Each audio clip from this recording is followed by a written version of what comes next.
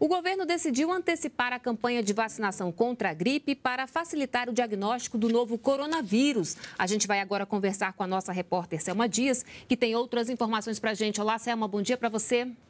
Oi, Carla, bom dia a você, também para quem está conosco. Olha, a campanha foi antecipada para 23 de março. A previsão inicial era começar a imunização ali por volta da segunda quinzena de abril. A preferência de atendimento é para gestantes, mulheres com até 45 dias após o parto, crianças com até 6 anos de idade, idosos e também ali as pessoas que trabalham com segurança pública e a população carcerária. Eu lembro que essa vacina protege contra os variados tipos do influenza, como por exemplo o H1N1 H1N1, portanto não tem eficácia contra o novo coronavírus, mas pode ajudar ali no diagnóstico, já que os sintomas se confundem muito com o de uma gripe comum. O Ministério da Saúde fez o anúncio dessa antecipação da campanha ontem lá em São Paulo, onde foi identificado o primeiro caso confirmado do novo coronavírus no Brasil. Quem acompanhou foi o repórter Pablo Mundim. Veja aí na reportagem. A decisão foi anunciada pelo ministro da Saúde, Luiz Henrique Mandetta, após reunião em São Paulo com representantes do Centro de Contingenciamento do Covid-19. Serão 75 milhões de doses, um recorde que corresponde a 10% da produção mundial da vacina.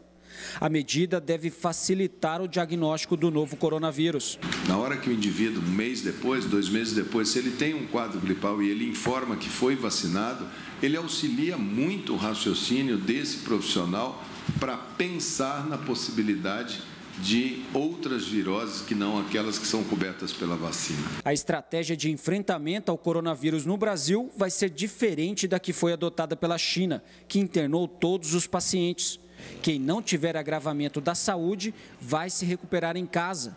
As autoridades reforçaram que não há motivo para pânico. Nós estamos lidando com uma situação de conforto e conhecimento no embate que ele é tradicional. Vivemos isso com H1N1, vivemos isto com dengue, continuamos a viver, passamos por isso com o sarampo. Então, é, nós estamos preparados por uma política muito adequada de enfrentamento de uma situação conhecida.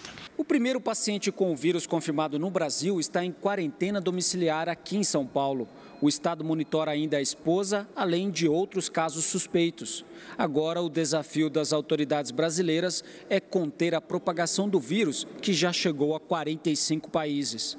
Podemos ter outros casos? Sim, podemos ter. Podemos ter casos oriundos desse paciente? Sim, podemos ter. O que precisamos fazer agora é diminuir a chance de ter. E se tivermos, garantir com agilidade e transparência que sejam atendidos.